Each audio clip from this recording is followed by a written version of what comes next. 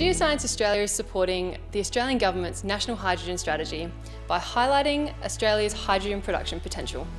Our online, free and high quality data products aim to establish Australia as a future leader in low emissions fuel production by attracting investment into Australia's clean hydrogen industry and identifying our potential as a future source of export revenue. Our hydrogen data products and tools are designed to assist investors and decision makers, both across government and in industry, to identify regions in Australia with hydrogen production potential. The Hydrogen Opportunities Tool, or AusH2, is a world-first web-based tool that has been specially developed to do this. It provides geospatial information on clean hydrogen production projects that are both operating and under development across Australia.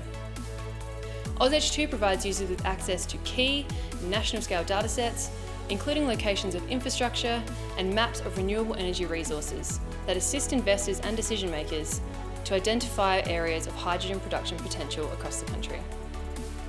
AusH2 also provides to the user the option to interactively interrogate and analyse the data through the Hydrogen Mapper function. This function allows users to examine a range of hydrogen production methods, both green and blue hydrogen, and it also allows the user to customise the tool's weightings and settings to produce individualised maps of hydrogen production potential. To further support investment into Australia's clean hydrogen industry, we're working with Monash University on a Hydrogen Economic Fairways tool.